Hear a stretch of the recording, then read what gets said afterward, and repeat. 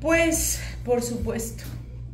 Creo que nosotros llevamos esta, esta espiritualidad desde que somos bebés, porque nos enseñan que las cosas no son fáciles. Una de las características de nosotros y nosotras del pueblo latino Oaxaca es de que a nosotros nada se nos ha dado fácil, ni regalado.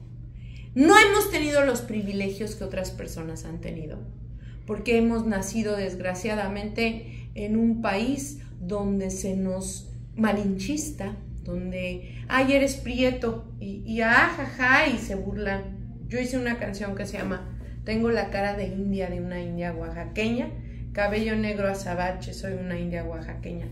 Yo creo que nosotros sabemos lo que es el dolor.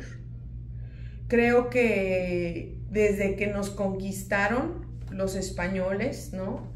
Nos hicieron sentir siempre que teníamos que agachar la cabeza y eso trajo por consecuencia, por ejemplo, que mi abuelita, mi bisabuela, se haya tenido que disfrazar de hombre para venirse acá a trabajar, si no fuera por mi bisabuela y que se tuvo que pues ya le iban a casar a los 12 años, ¿verdad?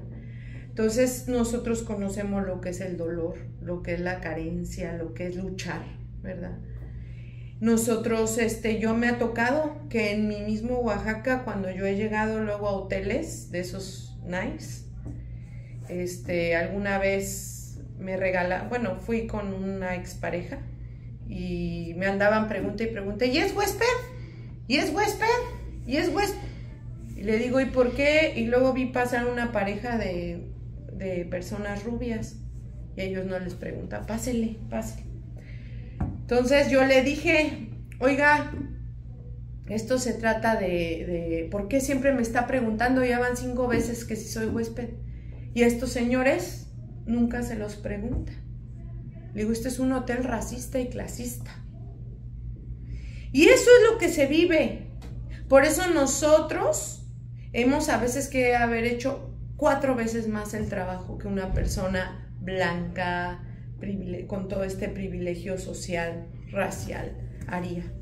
Entonces nosotros sabemos lo que es la humillación, sabemos lo que... Yo conozco a mi gente que trabaja de sol a sol por un sueldo miserable, de sus patrones así ricos.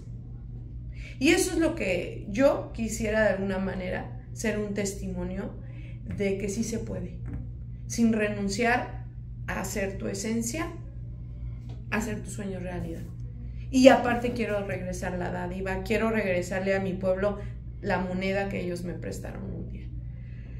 Entonces en este disco que quiero llamar de moneda en moneda, el primero que me dio esa moneda fue Dios, porque Él me puso una moneda en mi camino y de ahí para el real siempre me ha ayudado. Entonces, por eso para mí llevar este mensaje de tú puedes, de moneda en moneda, se llena el, jarrito y puedes. Solamente es que creas en ti, que te quieras mucho y que creas en lo altísimo. Sí. Para toda la audiencia de Berea Visión, soy Flor Amargo y quiero desearles un gran, gran, gran y exitoso día. Ya son alguien en la vida, échenme la mano los quiero mucho, vale la pena vivir y ánimo, adelante, adelante.